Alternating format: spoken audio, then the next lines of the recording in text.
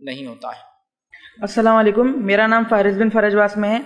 میرا آپ سے یہ سوال ہے کہ اگر کوئی شخص خاندان کا افراد حج کو جا رہا اور خاندان افراد ان کو گھر پہ کھانے کے واسطے بلاتے ان کو اور دوسرے رشتہ داروں کو اور وہ پھول پناتے وہ کرتے تو کیا یہ کرنا درست ہے؟ پہلے ایک سوال کے بہت سے حج کو جاتے ہیں تو بہت سارے لوازمات رسمیں ہوتی ہیں۔ بہت لمبی تفصیلات ہے اس کی بہرحال وقت نہیں تھا اس لیے میں نے جو ہے لیکچر میں نہیں لیا۔ کہ اس کے لیے بہت سے لوازمات ہوتے دعوت دینا چاہیے، امید ہے کہ جیٹ دعوت دیں گا دیور کے پاس سے دعوت آنا چاہیے، بھائی نے دعوت دینا چاہیے، سسرال سے ایک دعوت کم از کم آنا چاہیے، فلاں ہونا چاہیے، یہ ہونا چاہیے، پھر اس کے بعد بلایا جاتا ہے، پھر ایک مخصوص قسم کا دسترخوان بچھایا جاتا ہے، پھر وہ لوگ جو حج کو جا رہے ہیں، ان کو بٹھایا جاتا ہے، ان کو ہار اور پھول پہنائے جاتے ہیں، وہ پہنائے گئے ہار اور پھول اٹھا کر کئی سالوں تک رکھے جاتے ہیں، حتیٰ کہ وہ جو ٹرین اور بسیں جاتی ہیں، اس پہ سے بھی کچھ لوگ وہ ہار اور پھول کو چومتے ہوئے میں نے دیکھا نکال کر چومتے ہیں اور اس کو توڑ توڑ کر اپنے والیٹس میں اور پیکٹس میں اٹھا کر رکھتے ہیں۔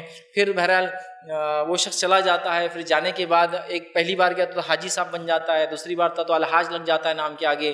اور پھر اس کو ناراضگی ہو جاتی ہے اگر حاجی اور الحاج نہ کہا جائے تو کہ بھائی لگایا کرو میرے نام کے ساتھ اور پتہ نہیں کیا کیا چیزیں ہم نے بنا لی کوئی اعلان کر رہا ہے ڈھول اور تاشوں کے ذریعے، کوئی اخبار میں اعلان دے رہا ہے کہ بھائی میرا نمبر لگ گیا حج کو اور میں جو حج کو جا رہا ہوں مطلب دعوت دینا ہے تو دے دیجیے ابھی موجود ہوں، اتنے تاریخ کو یہاں سے روانگی ہونے والی ہے۔ پھر آنے کے بعد بھی بڑے لوازمات ہیں۔ جس جس نے دعوت دی اس کے لیے ایک جانماز ایک کھجور، ایک پیکٹ میں ایک خاص زمزم جو مکس کرنے کی وجہ سے دو چار دن نہیں بھی تو سڑ جاتا اس کے اندر۔ اوریجنل زمزم خراب نہیں ہوتا ہے۔ پھر وہ ایک خاص زمزم، ایک انتہائی درجے سے ہلکی، ناقص قسم کی نائلون کی ٹوپی سر میں آتی بھی نہیں کبھی ہو۔ لیکن ضروری نہ دینا، ایک ایک ایک چیز نزدیکی رشتہ داروں کو ایک ایک جانماز تھوڑا اور نزدیکی جو دعوت دیا تھا، وہ کیا تھا تو اس کو جانماز ایک کپڑا اور کسی کو تھوڑا اور دور کا رشتہ دار تھا تو ایک ٹوپی اور ایک پیکٹ ہی ہوتا ہے اس کا پورا، ایک اس میں تسبیح ہوتی ہے۔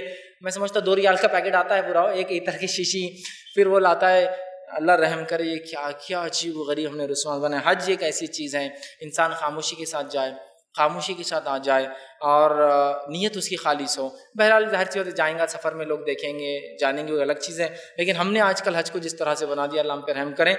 حج افسوس کی بات ہے کہ ریا کاری کا مرکز بنتا جا رہا ہے۔ میں سب کو نہیں کہہ رہا ہوں، لیکن افسوس کی بات ہے۔ دیکھا جائے ریا کاری کا مرکز، میں کون ہوں، کیا ہوں اسٹیٹس میرا نام اور فلاں فلاں، یہ سب، تو حج کو ہم خالص کریں۔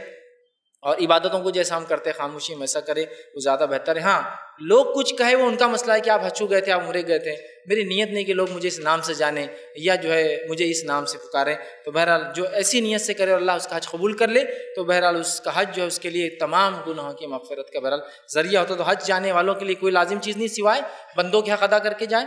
اس کے علاوہ باقی تمام چیزیں جو شاہ جو کھانوں کی شکل میں اور دیگر ہو رہی، یہ سب فضول خرچیاں اور عجیب و غزل قسم کی بداتے ہیں جو لوگوں نے ایجاد کر دی۔ ہم لوگ اس سے اپنے آپ کو محفوظ کریں اور اپنی عبادتوں کو، خاص طور سے حج جیسی عبادت کو، ان تمام خرافات سے محفوظ رکھیں